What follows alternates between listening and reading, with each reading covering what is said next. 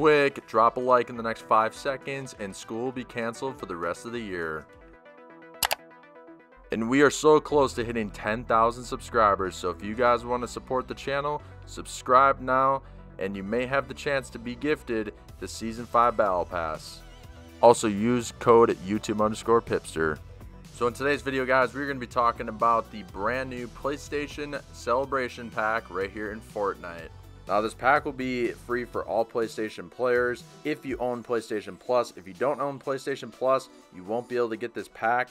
The pack includes a skin and a back bling, and it's just like every other season we've had in Fortnite where we've gotten the exclusive PlayStation Plus pack with a skin and a back bling.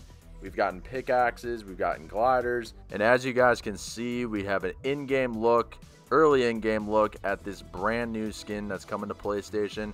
Very, very cool skin for a free skin. I'm not going to lie. Type what you guys think of that skin in the comments below. So as we all know, we got a throwback axe last season, which was a very cool thing that Fortnite did, where they brought a OG default pickaxe from chapter 1 into the game and the defaults from the previous chapter to complete that set in the item shop, which is a very cool thing that Fortnite did. Now, if you guys are an OG from chapter 1, make sure you type OG in the comments below.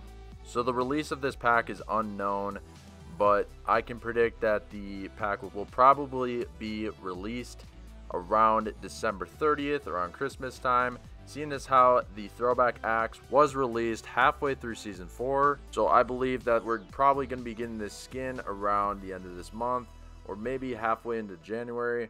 And that's everything i wanted to go over for this new playstation starter pack. Hope you guys all enjoyed the video. Hope it helped you guys out. Make sure you like the video subscribe and hit the bell. I'll see you guys all in the next video. Peace out